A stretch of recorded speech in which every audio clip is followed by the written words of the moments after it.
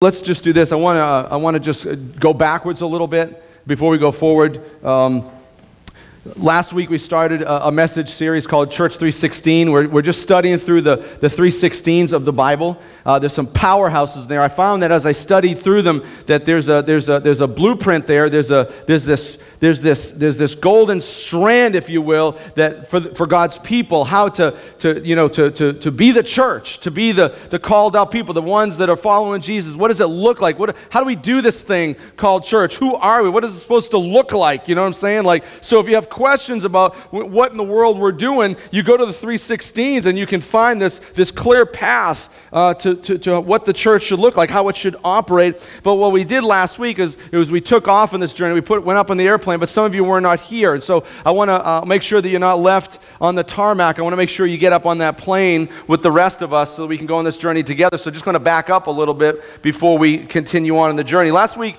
we talked about this. We said that, that if Jesus called us to be part of the church and to go do something, that, and really it's not just a part time job, right? Would you all agree? Je- Jesus didn't call us to, to, to take a part time gig. He called us to a full time gig, really. And so before we jump in with all of our resources, not just money, but like all of our resources, our intellectual capital, our experience, our time, our attention, our priorities, and our cash, whatever we do, we need to know beforehand, like, who is this God?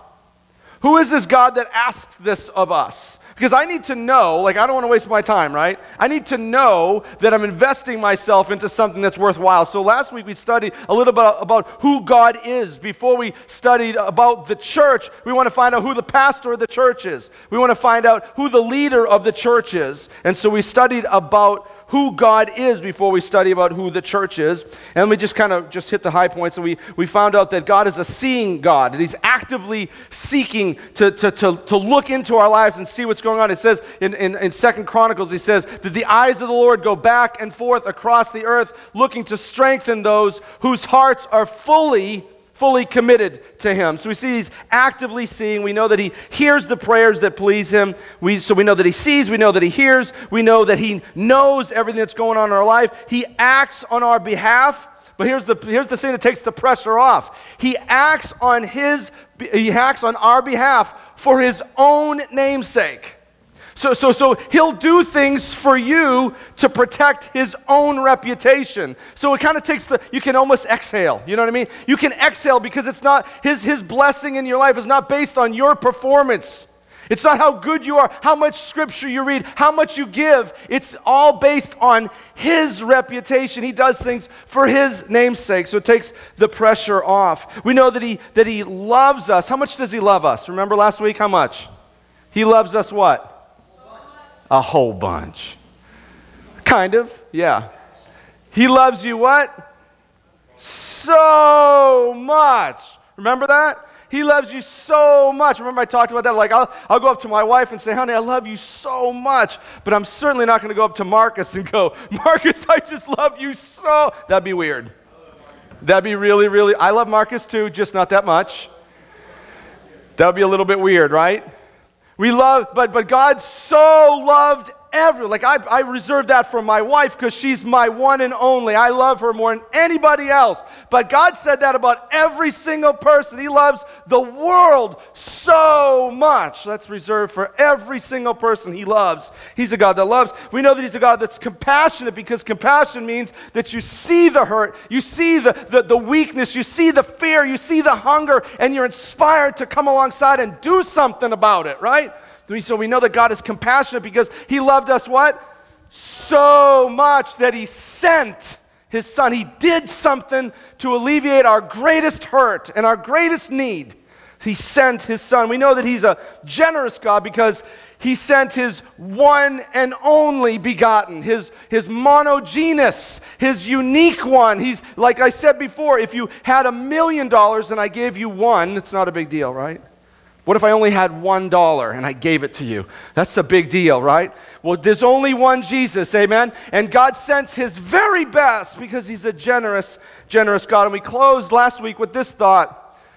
He's a seeing, he's a, he's a hearing, he's a knowing, he's a acting, he's a loving, he's a compassionate, and he's a generous God. And if the Lord is God, then follow him right? And so that's the, that's, the, that's the marching orders of the church. He's like, I'm going to have a church, and I want you to follow me. And if he really is the Lord, if the Lord is God, then follow him. Go all in on his church. Go all in. And that's where we find ourselves. Who thinks God is worthy of following? Amen. Yes, yes. He's an amazing God. He's an amazing God. And we should follow him with our whole heart. So this week we'll talk a little bit more about the church. Now, I don't know about you, but I have little babies at home, Jameson, Jackson, and they're sick tonight, so they couldn't be here. Meredith's sick. It's just totally creepy crawler through my house. It's disgusting. There's more boogers there. I, it's just beyond me. It's totally gross. So, so, so, so I, but I have, I have little kids, right? And so uh, I don't know what you guys watch, but you guys know what I watch. Lion King. Yeah, I watched The Lion King. Nemo, yeah. got all that stuff, right? I don't know, about like I said, I don't know what you're watching, but I'm watching constantly. You know, these kids, that's all they want to watch the same movie over and over again. It's so boring. But every single time you put on The Lion King, they're like, you know, like it's the first time they've ever seen it. It's amazing, right? So anyway, so, so, so, we're using the Lion King as an example, but you know, it's true. Like I, I, like I don't know. There's a lot of preachers in this world, and they get inspired by different things. But but that's what inspired me this week was the Lion King. That's pretty pathetic, you know. It is. It, it, it's pathetic, but, but but but that's what's in my life, right? So so that's where I get my stuff, right? And and and and, and so Hakuna Matata. It means what? No worry. You know it's biblical. It's biblical. Paul said to worry about nothing. He even said that, that all things are going to work out for the good to those who love the Lord. What's that mean? Hakuna Matata. So we could use this. We could use this. I found about the church that, that, that, that, that, that the church is to be uh, the water hole. The church is the water hole. You remember the, the, kind of the beginning of the movie when, when, when Simba is going to go with uh, uh, Nala? And they're going to go to the uh, elephant burial ground, but they, they lie. And they say, Mom, we're just going to the water hole. And, and they show the water hole, right? You guys have all seen, like, you know, maybe you saw Lion King, but you've seen the movies. You've seen National Geographic. You know what I'm talking about. There's the water hole. There's the water hole, right? And, and, and, and, and everyone gathers there. That's where life is, right? Let, let me read this. We're, we're going through the 316s, right? Do me a favor, jump to the first one. It's uh, 2 Kings 3.16. Go there for a second. Go there. We're going to talk about the water hole for a little bit. We're going to talk about life. Let's talk about life. Second Kings.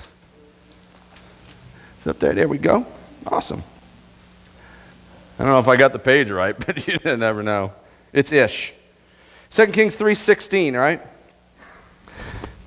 Church is a water hole. You're going to see in these verses that we shared tonight a clear picture of what the church, the, the people of God should be like. There's a lot of negative out there about the church, right? I mean, people don't like the church. You, you, you, can go online and you can see video after video and testimony after testimony why people don't go to the church. But listen, what we want to do is we want to be a church that's biblical. We want to be the church that's beautiful, that's attractive to people, not the, not the church that, that sends people packing. So let's read this here. You can see, um, I'm reading out of the New Living Translation, and, and hopefully you got a Bible. If you don't, there's some orange and yellow ones there, and the pages up there. You can go there and check it out. Okay, so, so, so here we are in, sec, in 2 Kings chapter 3, verse 16. Um, so the harp is playing, and Elisha, he's a prophet, right? And he's saying this. He says this. He said, This is what the Lord says. He says, This dry valley will be filled with pools of water. And, I don't know about you, but I want to invite you to do this. When you read the Bible, I want you to visualize what you're seeing because it doesn't become a reality until you can first see it. So I want you to see it first. I want you to imagine with me for a moment the water hole. I want you to imagine with me for a moment what this says that, that in this dry and barren land, that's in, that right there in the middle, will be this water hole, this source of life for all things. Like every single thing will come there to find life. Even the crocodiles that are in it that are, that are killing, that's life for them. Do you see? Everything about the water hole is life. Water is life. You know you're 98% water. Without it, you shrivel up like a raisin. That everything in the whole desert, everything around it comes there for life.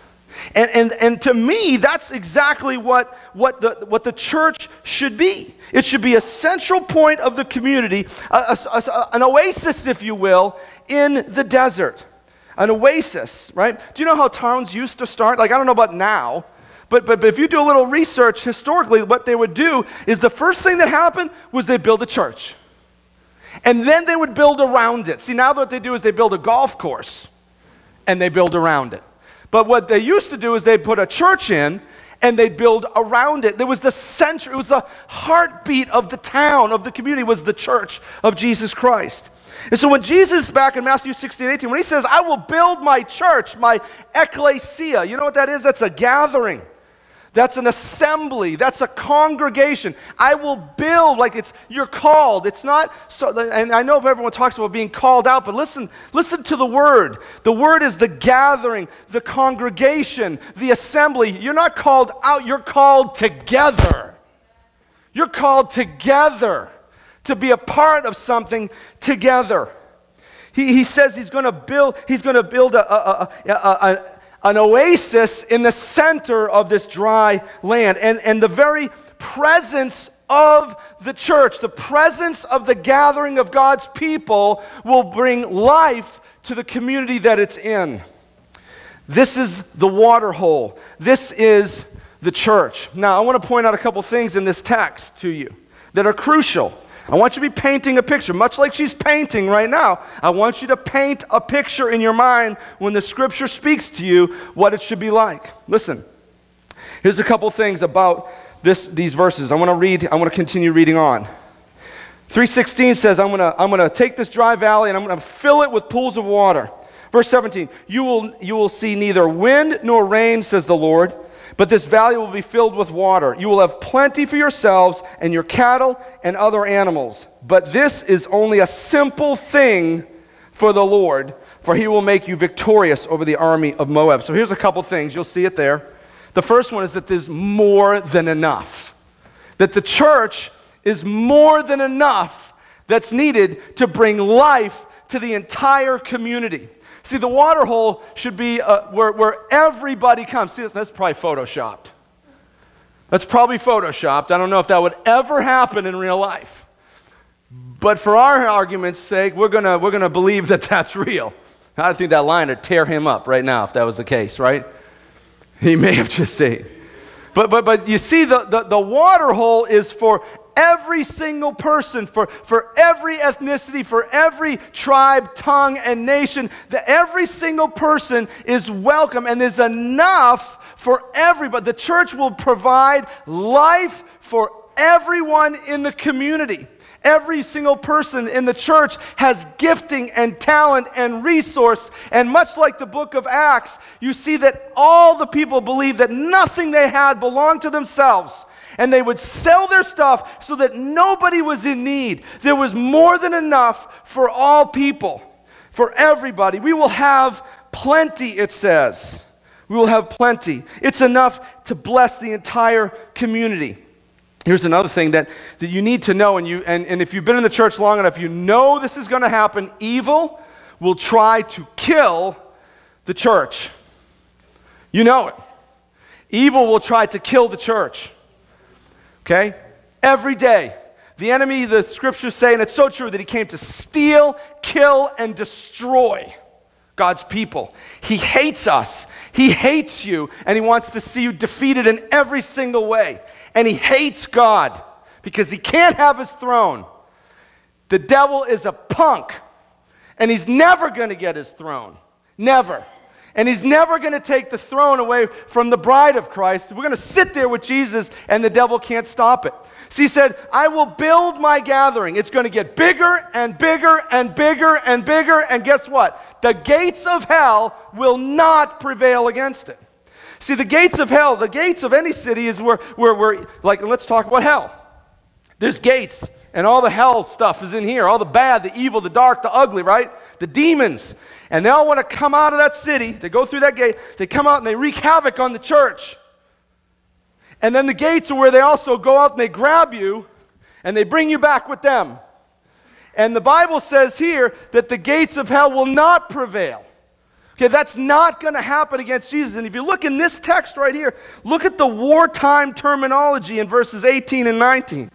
It says, The gates of hell will try, but look what it says. It says, victorious army, conquer, fortified, cut down, stop up, and ruin. Those are what the that's what that's what the church is going to do. Right? The church is going to go and they're going to fight.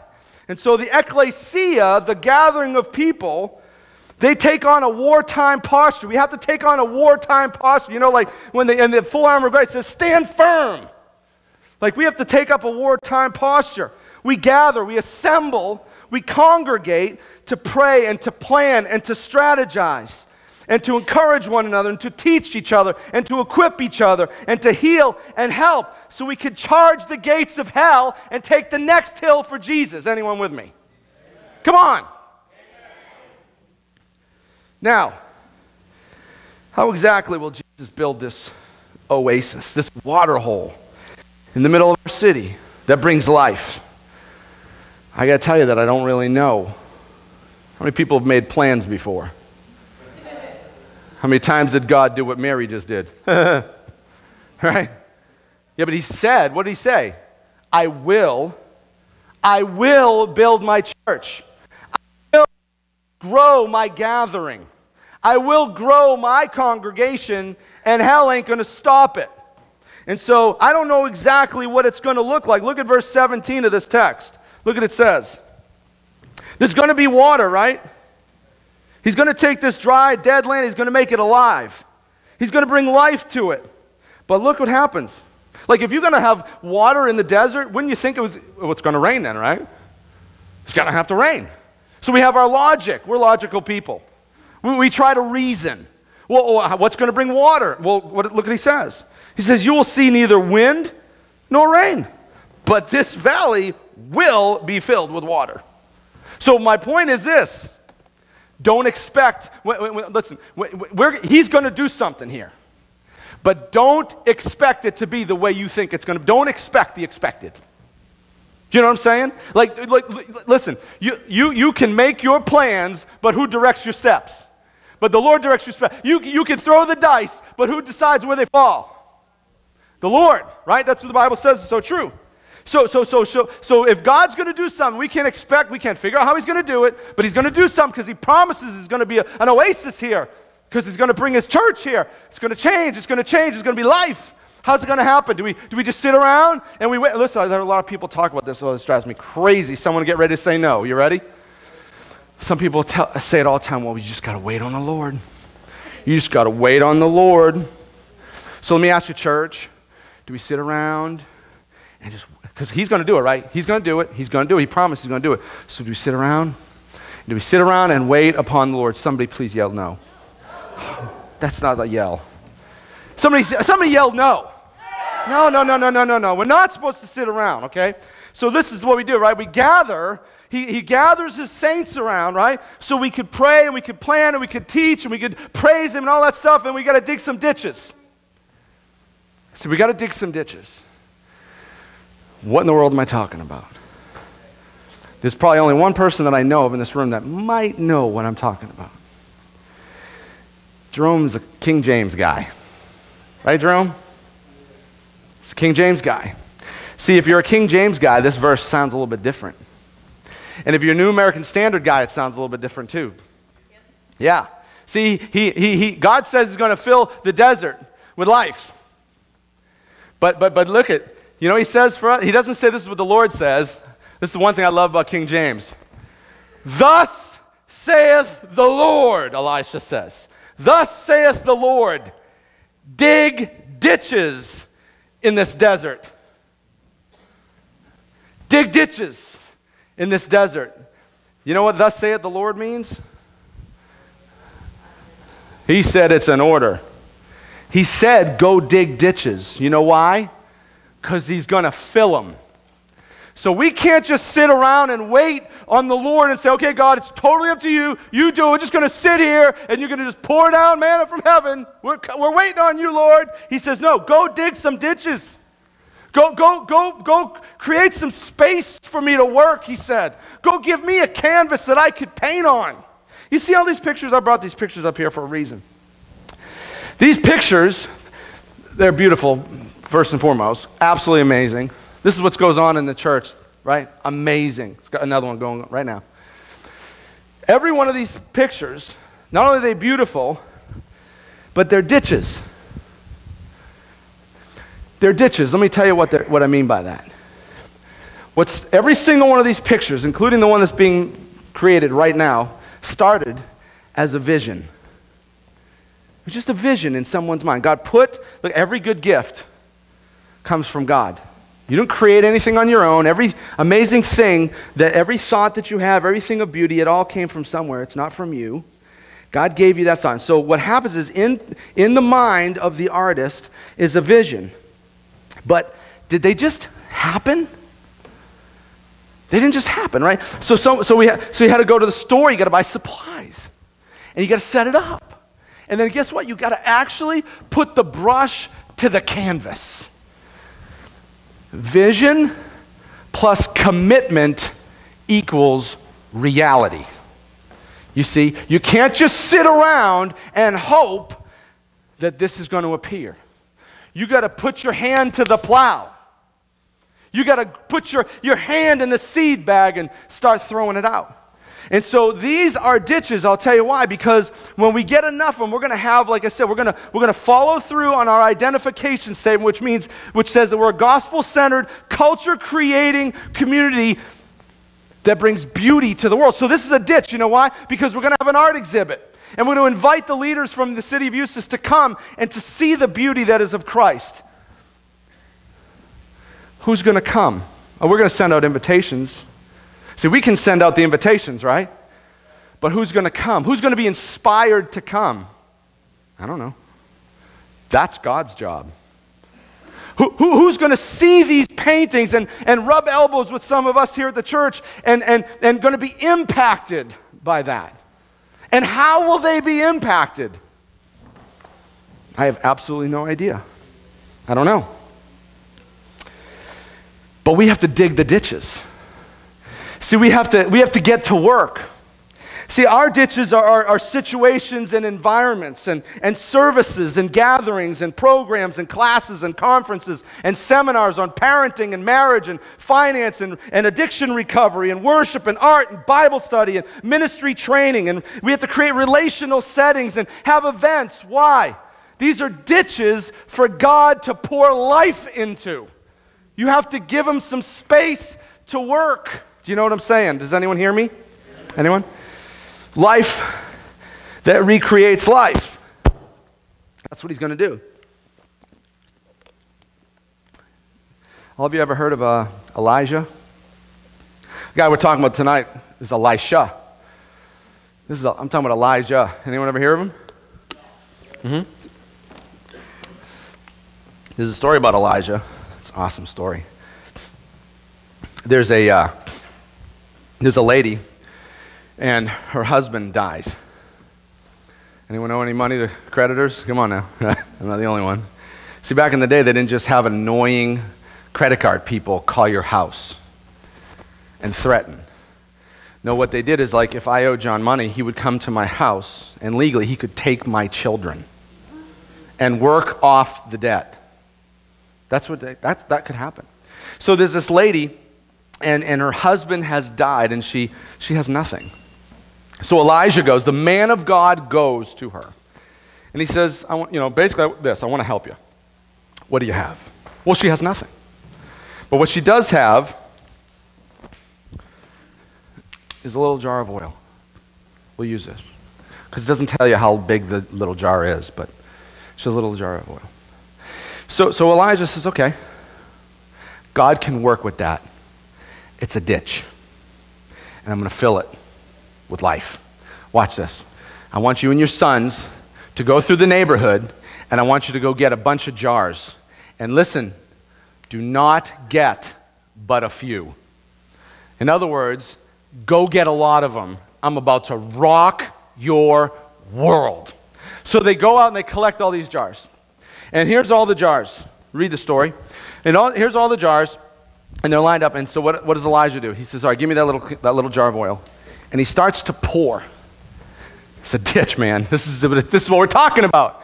He starts to pour this much oil into this big jug, and it keeps coming.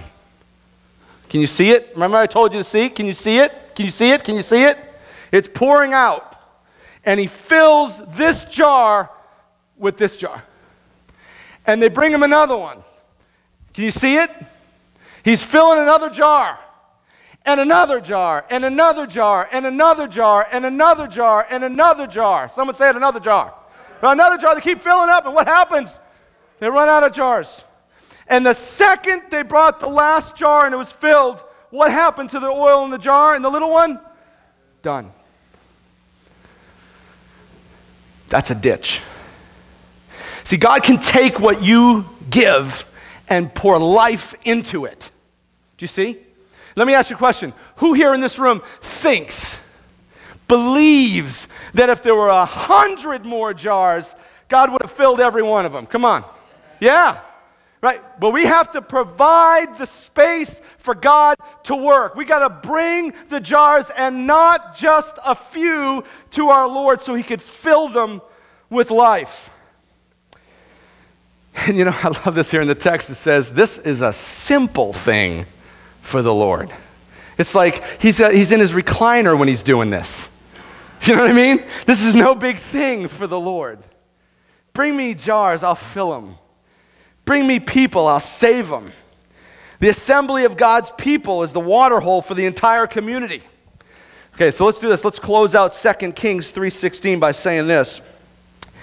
That, that God will fill the ditches that we provide and he'll provide an oasis to this desert.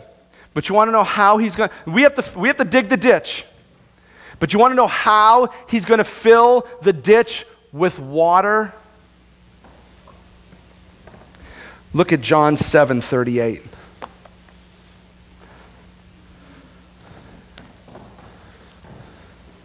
John 7 38 is going to tell us exactly how this gets done. You don't have to guess. You just got to dig the ditch, provide the canvas, give him the space, and God will do it. And this is how he's going to do it. Jesus Christ says himself in, in 738, we'll start at the very end of 37. He says this Anyone who is thirsty, who, who, who if in a desert, who's thirsty? Everybody, right? So, so, so let me ask you a question. Who in, in, in the Golden Triangle needs to have a relationship with God through his son Jesus? Just let me hear that. Every, everybody, right? So, so when he says anyone, that's everyone who is thirsty may come to me. Anyone who believes in me may come and drink, drink deep. For the scriptures declare rivers of living water will flow from his heart. Now, now, no, no, no, no, look at me, look at me, look at me. Don't keep reading, look at me. Who believes that? Yeah. The, the, the, the, the, the, flow of, of, of Jesus pouring out into people, yeah, yeah. But listen, this is where you come in, church. This is where you come in, gathering. This is where you come in, people. When it's, read on, verse 39. When Jesus said living water, he was speaking of the Holy Spirit. Let me, get, let, me just, let me just let you in a little secret. And it shouldn't be a secret because I scream it at you all the time. The same spirit that raised Christ from the dead lives in you. Okay? It says in Ephesians 1:13 that the moment of your conversion, Jesus Christ gave you his Holy Spirit. And he said that living water is the, is the Holy Spirit who would be given to everyone believing in him. So, so, so we're going to dig some ditches. We're going to create some space for God to work, right? And then guess what? He's going to use the same people who dug the ditch to pour His Spirit out into the community so that they will know and love Jesus Christ. It's us, the bride, who goes out and pours water into the ditches. He's going to use us to do just that. Amen? You're quiet tonight. All right, let's take a look at another 316. Go to Jeremiah 316.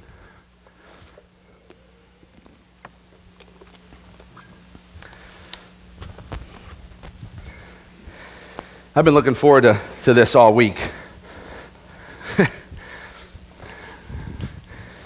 I love you guys. Thank you for letting me do this. So we look at Jeremiah 3:16 so we can find out more about the like who is this church? We want to get a picture of this church. We want to get a proper biblical picture of what the church is supposed to be, and that is our endeavor to be like that. Not what it's morphed into over the years, not what people think about it negatively, but what we're supposed to be. This is where we find we find this in the 316s. So let's go to, to Jeremiah 3.16 and we're going to we're gonna see a clearer picture of, of the church itself, of the ecclesia, the, the called together people. Jeremiah. You ready? You there? Okay, listen. And when your land is once more filled with people, says the Lord, you will no longer wish for the good old days when you possessed the ark of the Lord's covenant you will not miss those days or even remember them, and there will be no need to rebuild this ark. In that day, Jerusalem will be known as the throne of the Lord. All nations will come there to honor the Lord. They will no longer stubbornly follow their own evil desires. Now, I don't want to ever make the assumption that we're all Bible scholars here, so I want to take a second and tell you what this Ark of the Covenant thing is. It's a box. It's a box. It's a very expensive box. And you're not allowed to touch it. And inside of this box was like some of that manna that came down from heaven. And, and the Ten Commandments were in there. Like, it's a, this is a special box. And, and, and on top of the box, there were these golden little statues, you know, little statues of these angels. And their wings were extended kind of, you know, kind of like this or like that or whatever, you know and, be, and, and between them is where God hung out. Now, that sounds kind of weird. And, and I, I say that, it does sound weird because, because I think that no matter who you are, if, you, if you're an Old Testament guy, if you're a New Testament guy, if you're Jewish, you're Christian, whatever denomination of Christ follower you are, I think we're probably all in agreement that, that, that, that, that God, since the beginning of, of creation, was just, well, before that, was just everywhere. He's omnipresent. Uh, he's right here, right now. Look at this. He's there. He's there. Go in the toddler room, he's right in there. Right? No matter where you go, you can go to Ocala, he's hanging out there. You can go to Detroit, I don't know. You, you can go anywhere. You can go to Nepal, you can go to, you can go to Kansas, you can go to, you can go to Canada, you can go to Germany. You, he's everywhere. Would you guys all, look, look, look, do you all agree? He's everywhere. You can't escape him, right? No matter where I go, Lord, I can't escape your, your spirit. The eyes of the Lord, remember, eyes of the Lord. He's always looking, He's everywhere. So we all agree that He's everywhere, but here's the thing with the Ark of the Covenant. See, back in the day, uh, there's this manifest presence of God. So He's everywhere, right? We all agree. Everyone agreed, and everyone agrees here. But, but, but, but, but, but between the angel's wings, it was his manifest, like a focused, that's where his power was. You know what I'm saying? Like God's right, He's everywhere. But this manifest presence of God was right between the angel wings on top of this box. And that is kind of weird, but, but, but listen, it's true. He is everywhere, but there's scripture that says that he's, that he's close to the brokenhearted. So it kind of implies that when you're not brokenhearted, like he's there, because we all agree that he's everywhere, but he's not like there, you know. Draw close to God and he'll draw close to you, which implies what? That if you're not drawing close to him, he's here, kind of here, but he's not like there. You know what I'm saying? There's no power there. And so what this is saying is, is that back in the day, he used to dwell. He used to dwell above the ark. His manifest presence was there. As a matter of fact, it was so strong that only one dude could go in once a year, and he was with, if he had any sin, dead. You can't get into that kind of power, in that presence of that power, and, and, and you're like, whew, no. I know what to say. But, but see, things have kind of, I don't know, they've kind of changed a little bit. They've transitioned. See, he used to dwell between the cherubim, but then it kind of transitioned to a place. And God's people were there in Israel, so it was kind of, his presence was there. And so people would go there to, to be in the presence, like not just anywhere's the presence. Like we're in the, you know that you're in the presence of God right now. Should make you bow a little bit, you know? But but but but now it's different.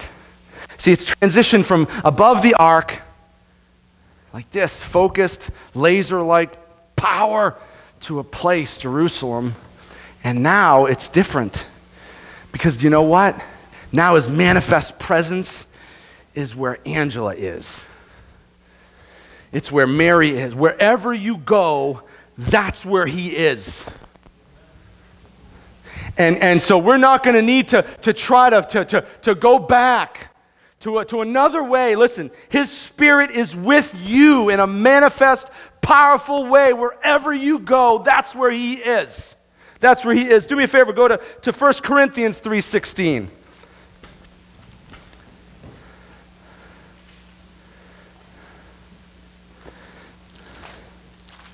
Some of us still have books. Most of you guys have devices.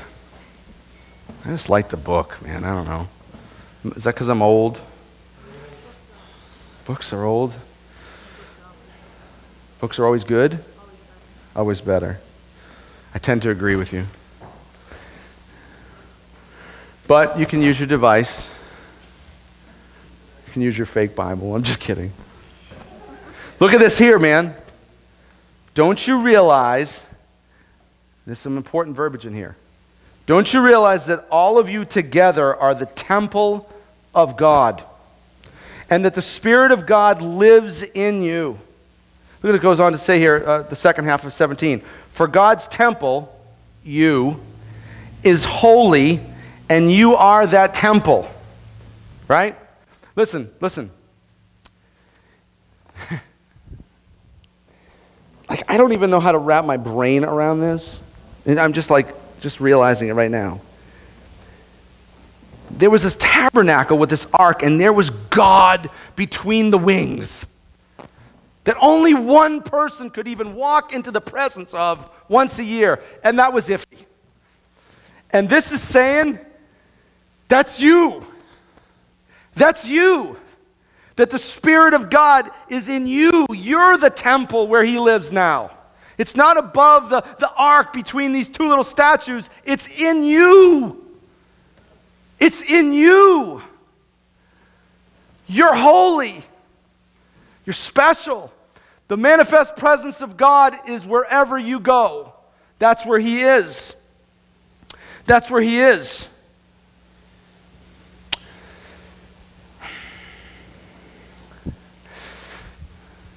There's a, there's, a, there's, there's, a, there's a truth in verse 17 that you have to see. It says that when, when, when people go to where the throne of God is, where his manifest presence is, what does it say? They, don't, they no longer live according to their stubborn desires. You know what that means? It means that when, when, when, when people are around you, they should change. Something happens to a person when they're around God. Do you see what I'm saying? Like, it's not just come to church and listen to a couple of good tunes. Like, when you're in the, we're in the presence of God, right? He inhabits the praises of his people. So there's a, there's a strong, manifest power that grows and grows and grows as God's people gather together to praise His name. He's there strong. And so when people are around that, their lives are transformed. Lives should, you should, you could come in as filthy and dirty and rotten as you want to be, but when you leave this place, you should turn out different. You should turn out different. You should go out of here different than when you came in. I want, to, I want to point something out to you. Remember, I told you there's some important verbiage there.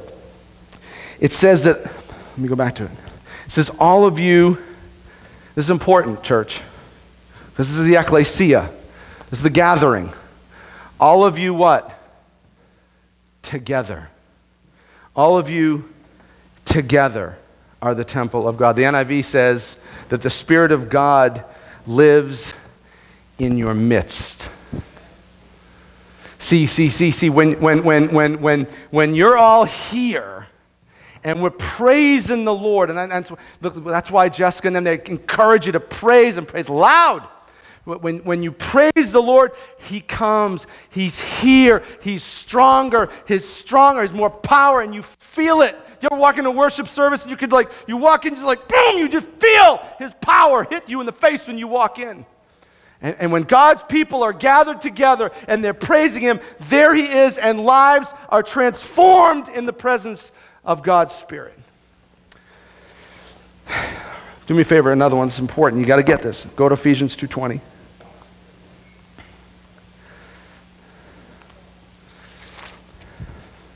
There's something about when we gather people. I harp on it all the time about coming, but it's important. It's important. You understand? It's important. If, if, if, if you want lives to change, then you got to be involved in that. God's presence is stronger and stronger and stronger when we're together. Amen? Listen, listen here, listen. For Christ Himself, I'm sorry, I, I, I read the wrong thing. I read the wrong thing. 220, right here. Tig- oh, here's the first word. Together, we are his house. Built on the foundation of the apostles and the prophets, and the cornerstone, is a good place for an amen. You ready? And the cornerstone is Christ Jesus himself. We are carefully, like it's not just a mistake that you walked in here. It's not a mistake.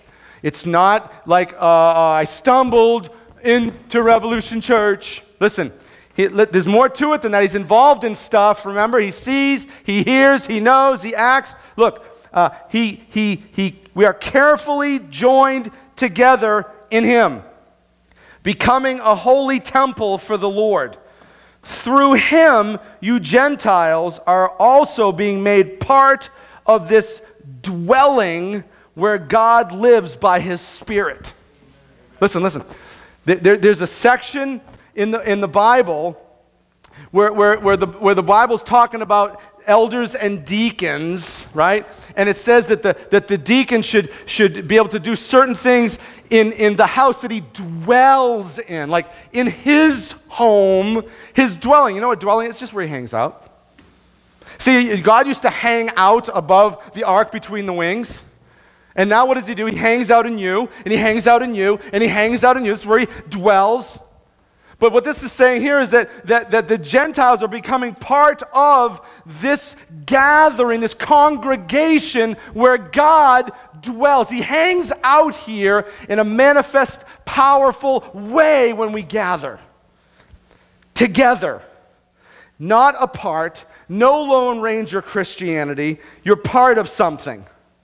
And so, as we assemble and as we gather, as we congregate together, then the, then the Spirit will manifest itself stronger and stronger. And the more that come, the, the, the presence of God is stronger and stronger and more tangible, and you will see it and you will feel it and you will know it, and lives will change as people enter into the presence of God. And they will find God where they find God's people. How will they find God? How will they find God? Well, if you look at uh, Jeremiah 3:22, it says this. You don't have to go I'll read it to you. My wayward children, says the Lord, come back to me. Come back to me, and I will heal your wayward hearts. It's a plea for the Lord. It's a plea from the Lord. How will people find him? How will people find him? Well, the vision of seeing a community transformed by the power of the gospel only becomes a reality when we begin, God's people, I'm talking to you, when we begin to, to realize and live out the calling that God has on our lives as a gathering of his people. Look in 2 Corinthians 5:18. 2 Corinthians 5:18. So I'm not just making this stuff up. It's actually when I'm saying this, it's actually in the Bible.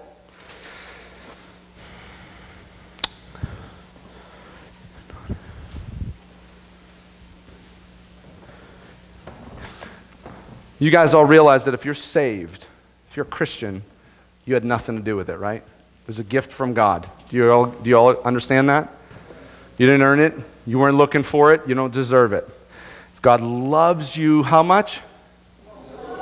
Oh, so much that He gave it to you. And verse 18 says that all of this, this love, this salvation, these gifts of His Spirit, everything that you have, if you take a breath, it's from God. And all of this is a gift from God who brought us back to Himself through Christ. You all just acknowledge that. And God has given who? God has given us, us, hmm, given us this task. He's talking about the, the, the task of reconciling, the task that he sent Jesus to do. He was the first. And he went and he went before us and he saved you. He seek and save that which was lost, right? And so now he says, now God has given us, the church, the gathering, his people, this task of reconciling people to him. For God was in Christ reconciling the world to himself, no longer counting people's sins against them. We could, you, we, let me just pause there for a second. We could use that. That's a word for someone here. Not counting their sins against them, right? We all do that. We do, we do. So let's, let's try to do better. Listen to this. Keep going. Verse 20. So we are Christ's ambassadors. This is the part I want you to hear. God is making his, no, I'm going to, um, mm, I don't like that. I don't like that. God is making his plea through us. See, so when he says, Oh, wayward children, come back to me, and I will heal your wayward heart. See, he's calling out to the people, right? That says, this is what the Lord says. Oh, wayward children, come back to me. Come back to me. Right? But guess who is, guess what it's, it doesn't sound like God. Guess what it sounds like when, when people hear that? Oh, it sounds like Noreen. Oh, yes. You're Christ's ambassador. He's making his plea through you. He's going to, his, you know what his voice is going to sound like? Frank. It's going to sound like Nautica. It's going to sound like Jessica. It's going to sound like Jerome. It's going to sound like Eddie. That, that, that's, who, that's who, when he makes his plea to people, oh, children, come back to me. Guess what? Guess what mouthpiece he uses? Jimmy's, Mandy's, Patrick's, mine. He uses us. He's given us the task of reconciling people. Look at this here. Look at it says. We speak for Christ when we plead the words that God just said. Come back to God. He uses us. We dig the ditches and we are the ones who pour out. Come back to God. Now, all glory to God who is able through his mighty power at work within us to accomplish infinitely more than we could dare ask or think. He uses us to dig the ditches, he uses us to pour into people. We're the living water that's coming out of our guts. The same spirit that raised Christ from the dead is in you. And he's going to use you as his mouthpiece to pour living water into people so that this city can become an oasis in Lake County. Here's the last one. Who wants to be part of that? I want to be part of that. I mean, for real, right? I want to be part of that. Okay, here's the, here, here's the last one. Here's the last 316 of the night. And it's found in Joel. You can go there. Take a minute to get there. Um, the prophet Joel really, um, under the inspiration of God's Spirit, he really gives us an understanding um, with greater clarity uh, of who we are and, and what God will not just wants to do, but will do through his ecclesia, through his church, through his gathering of people. As he gathers them more and more, and, and we congregate together, we assemble together. That's us, that's you, that's, point, that's, that's us right here.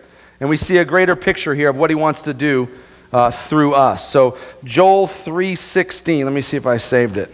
I did, yes. Okay. You guys there? Now, now remember what I said earlier. When you read, don't just read the words.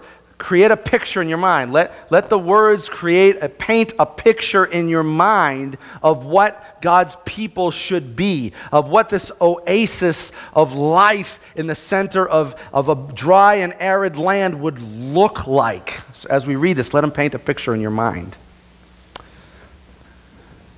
The Lord's voice and remember now what I told you. Whose voice is he using? Raise your hand. Oh, he's using our voice, right? The Lord's voice will roar from Zion and thunder from Jerusalem. What he's saying here is that where God is, you're going to hear it. High impact, right? High impact. And the heavens and the earth will shake.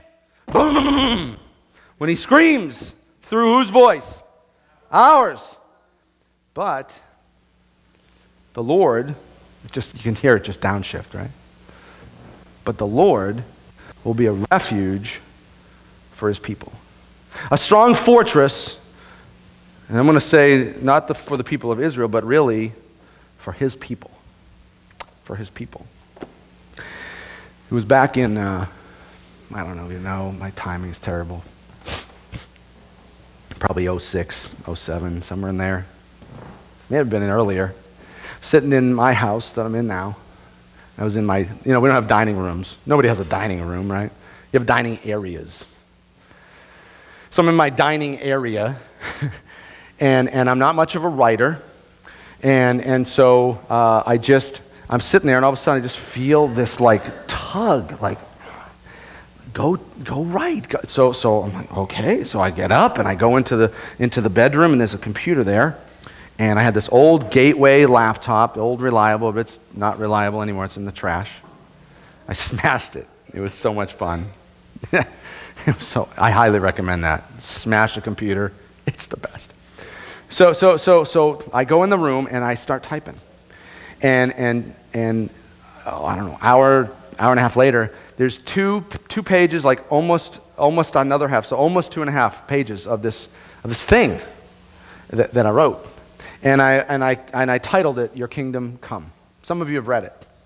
And, and what this was, and I didn't realize at the time, but this was God beginning to unveil to me a vision of, of, of not just the church, but specifically the church that I would be part of, hence you, and what it would look like and it was a vision that, that, that talked about a church that wouldn't be like tucked away in little nooks and crannies down like little side roads where no one knew where it was. And, and, and you just come in and you, and you sing and you pray and you preach and go home. And, and that was it. But it was a church that would reach into every facet of our society with the love of God and, and, and, and to reach into every nook and cranny of our culture, just involved in sports and politics, not to take a side, but involved involved in the political process and involved with healthcare and education, the public schools, the private schools, whatever, involved with all the people, whatever they needed, the church was there. And it wasn't stuff that we, that we did and decided to do based on, on Democrat or Republican or, or financial reasons, but we did things out of a heart for God and, and for the love of God. And, and we did that because that's what Jesus does. And we were going to be that centrally located church where all all the city would know we were there, and if they needed anything, they knew who they could come to. It would be Jesus Christ, His people, His bride. And that this church wouldn't be some little thing. Because, you know, the tail doesn't really wag the dog. And, you know, there's 300,000 people in Lake County. It's crazy, right? You know, there's like 17,000 people in Eustis. There's a lot of people here. And, and, and we, we talked about it a, little bit ago that, that how many people in this area really, really need a relationship with Jesus. You said every single one of them. So, so, so my, my, when I read this, I was like, yes, Lord, yes. That we were, we were to be a church that was, that was in a place where, where our building would make a statement as to who we were. And, and we would be in a location where people could find us. And we weren't begging them to come where we were, but we went to where they were. See, that was the biblical example. Jesus, Paul, they went to where people were. And, and that when we were there, that we would be high impact, like it says. That, that God's voice would roar and shake the heavens and the earth when his people spoke up. And that we would be an oasis to this community, but also be a place that provided peace and hope and love and safety and protection and provision. And see, that's why it says in Hebrews chapter 12, verse 15, to look after each other so that none of you fails to receive the grace of God. Because it's through his church that God's grace flows most freely. See, I've said this before that when there's someone in great need, more times than not, He'll put it on someone else's heart here to help that person. I know that when I am blessed, when I'm in great need, and I cry out to the Lord, and I know many of you do, do you know, it just seems like all the time I get blessed by people that I know in our church. His grace flows freely through His bride. Through His bride. And that's what the church should be for our community. There's so many lost and hurting people here in our community. And as of this moment, like, let me ask you this how many people in their own mind, in their own creative mind, have a vision of what the church could be? Raise your hand. You don't have to, we don't have to spell it all out, but have a vision of what the church could be. That, that, that, you, and I don't know about you, but I like, I, have, I don't have a number, but, but there's many, let's just call it many, there's many people that, that, that, that change, that, that, that turn from their sin and embrace Christ by faith, and, and, and their, their lives are transformed, and they get off of their drugs and their alcohol, and they restore their relationships, and they stop doing the, the foolish things that they do time and time again, but they start to obey the Lord and follow His Spirit, and their life is completely different, and they become, instead of sinning like crazy, they're worshiping like crazy. I have that vision, right? I know I'm not alone. But here's the thing think about all those people right now that you would love to see come to Christ. Right now, they're nothing except a part of your vision. But what I'm seeing here in the scriptures, in the 316s, is that it is our gig to see that they transition from part of the vision into the reality. That's what I want to see more than anything. I want to see people just like all of you saved and changing, becoming more like Jesus every single day. Like, I'm not alone. I know that you all, I hope you feel that way. Oh, my heavens, I hope you feel that way. I hope you feel that way. I want to see that happen so, so bad. Uh, as a matter of fact, it says, in, if you look back in Joel 3.14, it's a perfect illustration. He says this, he says, thousands upon thousands are waiting in the valley of decision. Eustis has 17,000 people in it.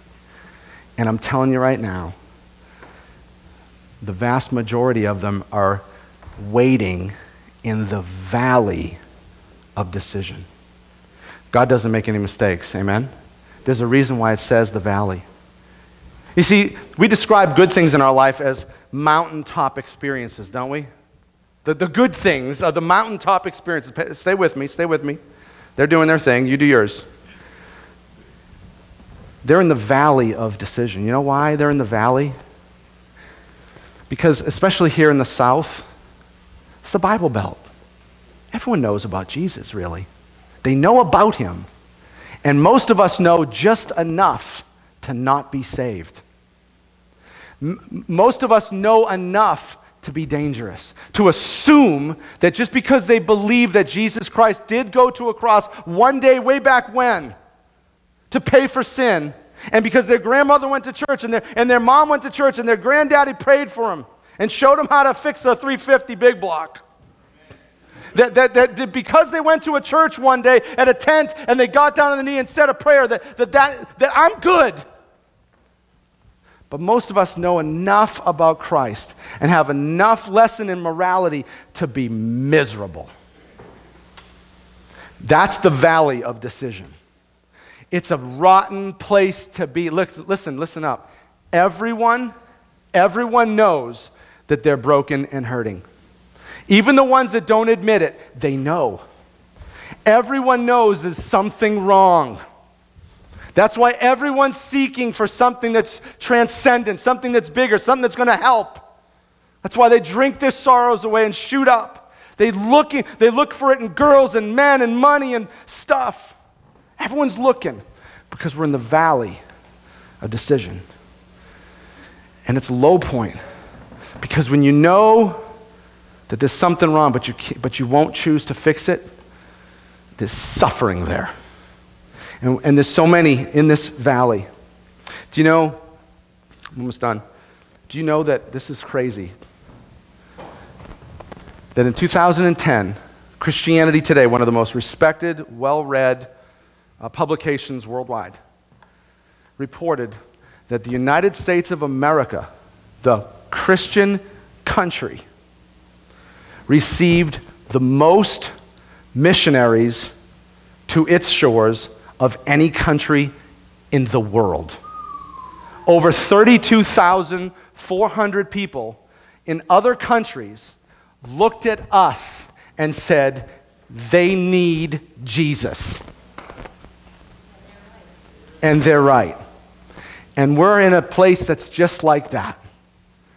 We're in a place that's just like that. But I believe with all my heart that God wants to use Revolution Church to shine light into the darkness of the valley of decision. I believe with all my heart that God wants our church to begin digging ditches in the desert so He can transform this community into an oasis of His Spirit. The harvest is plentiful. Make no mistake about it because you live in Eustis, because you live in the Bible Belt, because you live in the South, because you live in America means nothing. 32,400 missionaries, who a lot of them live in huts and in dirt, looked at America and said, they need Jesus. And we're here. We don't have to go on a mission trip. You don't have to buy a ticket. You don't have to get a passport. It's right here. It's right here. I want to read a verse with you to close our night. Because I, I believe that this verse will inspire you to go dig ditches, to be a part of what God wants to do here in Eustis, Florida, in the, in the Golden Triangle. And, lot, and, the reason why I think it's going to inspire you is because I think that a lot of people, because we live here, we don't realize the, the great need. But if the Bible was true when it was written, it's as true as it, as it was then as it is today. Do, do, you agree? It speaks to us right now, right where we're at. And, and, I want you to read this with me. I want you to read this with me, and then we're going to call, call it a night. You guys ready? Okay, come on, let's read this. But I say, wake up.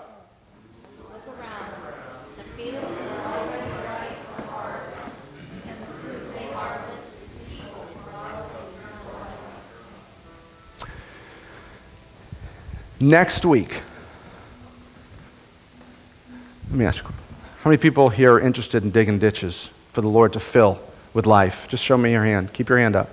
Keep your hand. Awesome. Doesn't mean you have to grab a shovel. I'm not going to ask you to grab a shovel. Just bait you guys in, right? no. Listen, next week I'm going to I'm gonna, I'm gonna introduce to you an amazing ditch that we as a family can dig together. A, a, a trench, a riverbed where God's Spirit can flow into this city.